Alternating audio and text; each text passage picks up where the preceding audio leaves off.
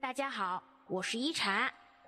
今天一禅想跟大家聊聊，很难过，却又很难说。师傅说，真正的难过是说不出口的。有些人坚强的笑容背后，是咬紧牙关的灵魂；有些人假装说没事背后，是把眼泪往心里流。有时自己很难过，但却又真的很难说。累的时候也希望有个依靠，难过时也希望被人关心，但总有些辛苦，别人体会不到；总有些难处，别人无法感受。即使你已经万箭穿心了。但在别人眼里看来，你只是比平时沉默了一点。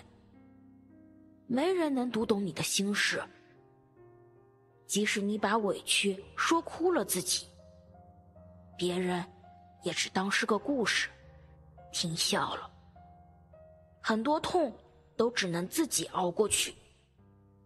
有时不是不想哭，而是眼泪没人擦；有时不是不想说。而是说了没人懂。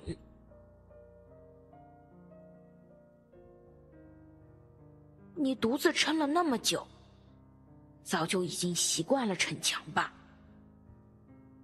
能坚持的时候就绝不流泪，能咬咬牙撑过去的事情，你就一定不会低头认输。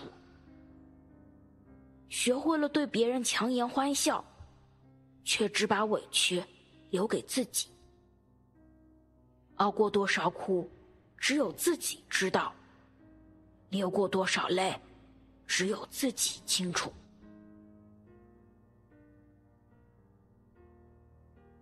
生活本来就充满了伤痛，我们终究要自己舔舐伤口，学会一个人走很长的路。往后余生，愿你冷暖有人知。愿你悲欢有人懂。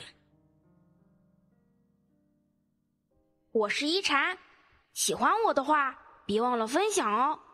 每晚八点，我在这里等你。